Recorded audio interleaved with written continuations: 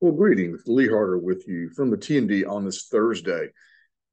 Southeastern Black Farmers Organization visited in Orangeburg County, visiting farms over in the Rowesville area recently.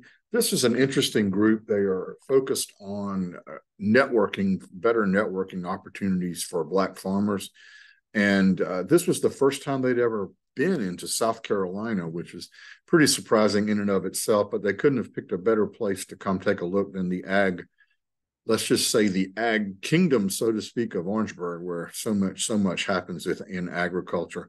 So you'll find a, a story on that, and it should be quite interesting to you, um, based on again the ag importance in our region.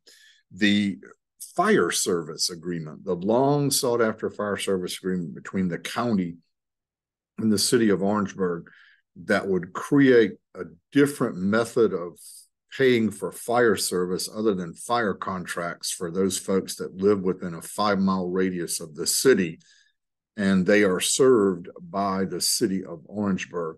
Currently, a lot of people don't buy those fire contracts. So the city and the county are looking for a way to bring those folks in the five mile radius into the same kind of a, a taxing arrangement for fire service that that are, that happens with the city of Orangeburg folks and elsewhere in the county. Again, it's a long-standing story. They've been unable to agree in the past, but it looks like we may be close.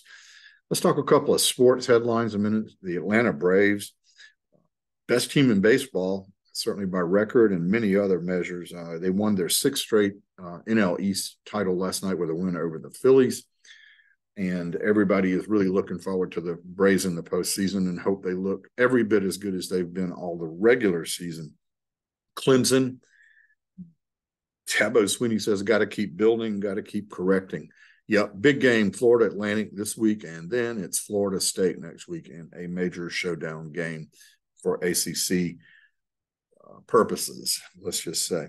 All right, Beamer, uh, Carolina, big challenge is his are his two words. No kidding. Number one, Georgia at Georgia on Saturday. That'll be a, a, major afternoon game. Clemson, by the way, plays at night. No, Clemson does not play at night. I'm sorry. It'll be Tennessee and Florida is the big game at night.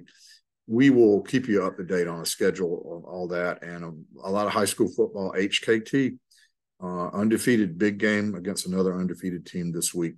Anyway, we will continue to bring you all that at tnd.com and a whole lot more. Get over there and become a member. We need your support.